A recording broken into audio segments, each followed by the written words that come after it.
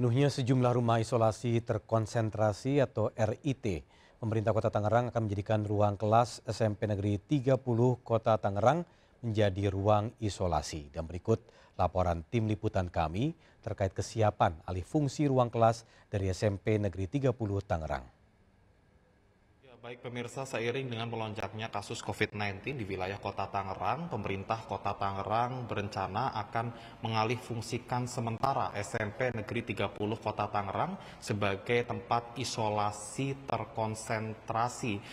Sekolah yang berlokasi di wilayah Jurumudi Kota Tangerang ini rencananya akan digunakan untuk menampung pasien COVID-19. Meskipun saat ini kami belum mengetahui kapan sekolah ini akan dialih fungsikan untuk menampung pasien. Namun saat ini kami akan mengajak Anda untuk melihat seperti apa persiapan dari SMP Negeri 30 Kota Tangerang untuk uh, menampung pasien positif COVID-19. Saat ini dapat dilihat di layar kaca Anda sudah tersedia sejumlah kasur lipat di salah satu ruang kelas yang berada di SMP Negeri 30 Kota Tangerang.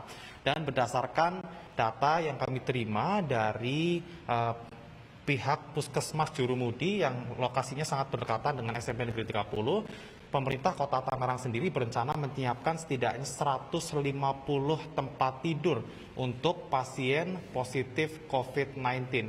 Untuk lokasi dari SMP Negeri 30 ini juga sangat berdekatan dengan Puskesmas Jurumudi baru yang mana uh, hal ini sangat memudahkan nantinya untuk menambah fasilitas dari puskesmas untuk bisa menampung lebih banyak uh, pasien COVID-19 dan uh, diadakannya atau dialih fungsikannya SMP Negeri uh, 30 Kota Tangerang ini seiring dengan memang tingkat keterisian fasilitas uh, rumah sakit khusus untuk rujukan COVID-19 yang saat ini di Kota Tangerang sendiri sudah mencapai 30 persen.